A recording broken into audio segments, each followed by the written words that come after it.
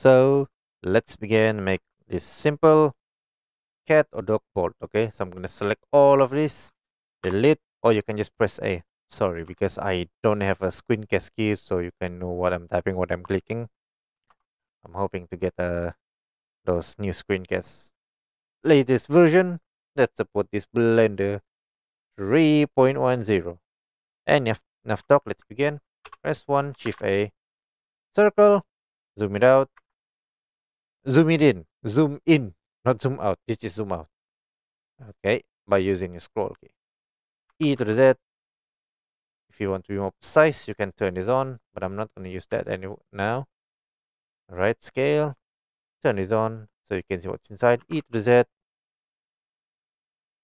Uh, K, F to fill, and turn this off again. There we go. Select this one, the edge, Control B. Make it a little bit smoother. Just like that, very simple. Select this one, Control B. Three would do. And for this one, mm, control, oh, control B.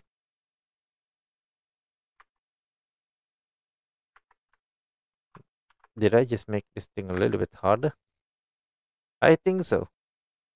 If it's because of this one. Okay, so yeah, not need to think too much about that. Then, if you want, you can use the subdivision surface to make it even super smooth, okay? But I'm not going to use that now. I'm just gonna shade smooth it. Very simple as that, okay? If you want, you can increase the solid the thickness on it by using solidify. So the shading now, we're done with the shape now. Now we're gonna paint it. Not we're gonna paint, we're just gonna add some material. If I said paint, I'm gonna use my Wacom here, but I'm not gonna turn it on today. Base color, uh, red, pink. Yeah, common color is red. I'm gonna use a little bit of pinky now. And that's the color we got. Oh, let's adjust this one. The specular and the roughness, okay? Increase the specular if you want it a little bit more shiny. Decrease the specular if you don't want any of it, okay? Increase that. If you want to be more shiny, decrease the roughness to zero. If you don't want it, just increase it to one. It's kind of the same like specular, but it's actually not the same. Just a little bit there.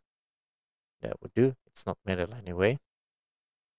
So now the last part, instead of having this looking boring, just flat color, let's add some bump to it. I mean texture bump, normal. Shift A to add a vector bump, okay? Connect the normal to the normal and now shift A to add a texture. Whatever you want. I'm going to use the noise texture for now. If you want, you can mix other texture as well. Completely up to you. Alright. Just like that. Increase the scale to whatever the detail up to there. For this, adjust all of this. Depends on your liking until you got something that maybe your interest. Okay. Roughness just like that i'm gonna decrease the strength now because you don't want to look it like that. But rock is cement shape. Okay. Uh, decrease that. Zoom it out zoom in. Increase like I think 58 is still too high. 42 right? The 42 looks good. Looks good or you can just go uh, 0.040 make it more precise if you want okay? So that's all okay?